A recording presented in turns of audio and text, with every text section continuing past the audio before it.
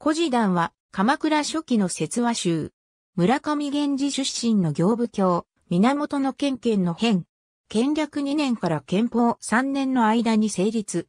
県県は長年行部教を務める一方で、藤原定家や英才らとも親交があった教養人であり、有職古実にも精通していた。奈良時代から平安中期に至るまでの462の説話を収める。王道記載の無や、新設、創業、有志、神社仏寺、天卓書道の六巻からなり、巻ごとに年代順で配列。文体は新字を、主とし、金混じり文もある。貴族社会の逸話、有職古実、伝承などに財を取り、天皇、貴族、宋の世界の鎮断、秘話集となっており、小雨記、不総略記、中外省、不可語などの先行文献からの引用が多い。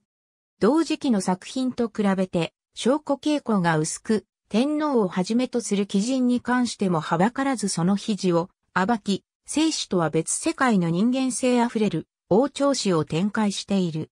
あまりな修文暴露に恐れをなしたためか、聖徳と同郷、歌と京極宮安所、花山と馬内白の陰猥な説話を削った略本もある。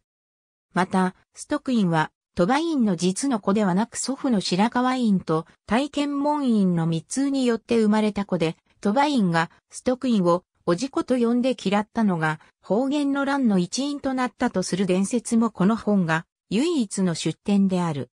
説話文学史上重要な作品であり、上級元年成立の続古時談をはじめ、宇治周囲物語など以降の説話集に影響を及ぼした。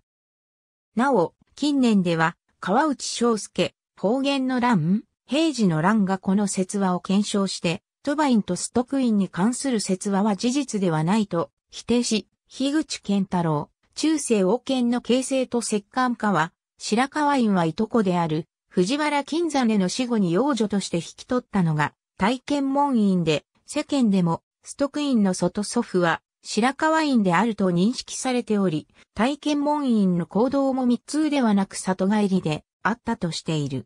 2005年11月にシリーズ最終回配本約15年かけ全巻完結。ありがとうございます。